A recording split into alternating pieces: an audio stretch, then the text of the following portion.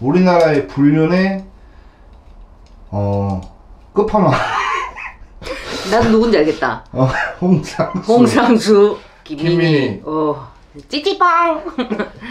그분들이 어떻게 될 것 같아요 말로가 어, 오래 가겠냐. 글쎄, 난 그 끝은, 나도 궁금하다. 근데 그 이 사람은.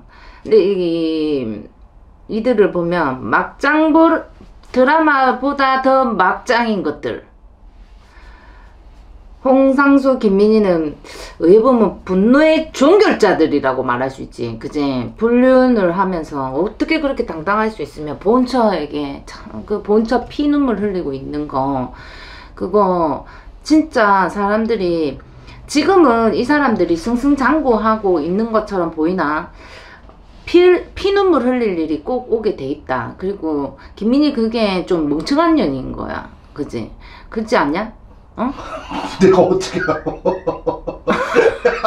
아 멍청하다 안 멍청한데 내가 아니 요즘 우리가 신을 받아야 될 때 유튜브 신도 같이 받아야 되거든. 어? 그 봐봐 사장님 정말 이 여자 어, 그러니까 그 예술계의 미친 게이들이라고 말할 수 있어요. 미친 게이들. 응, 미친 연놈들이죠.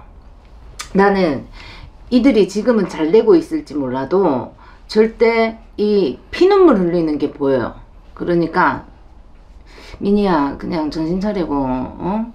어 보내드려라 이렇게 음, 저기 홍상수 감독님 영화 자체는 엄청나게 인기가 있는데 이런 불륜들이라는 그 자체 그것 때문에 아직까지 우리나라에서는 인정이 안 돼서 그런지 몰라도 어, 지가 홍상수 이 새끼 이게 음 임금인 줄 알고 있어. 그래서 뭐 왜 중존 놔두고 첩 놔두고 첩 놔두고 하는 것처럼 그렇게 하는데 김민희뿐만 아니고 지금은 김민희가 옆에서 이렇게 이렇게 한다지만 김민희 자체도 고충을 이렇게 가지고 있는 것들이 있을 거거든. 분명히 있어요. 이거는 내가 이렇게 뭐속 나한테 안 드러나서 모르겠지만 이 속내에 안 좋은 그 막 이런 것들이 있을 거야. 아픔들이 느껴지니까. 근데 지금 그 사랑하는 거, 애틋한 거, 그 사랑은 존중해요. 하지만 너무, 이건 너무 하잖아, 도덕적으로.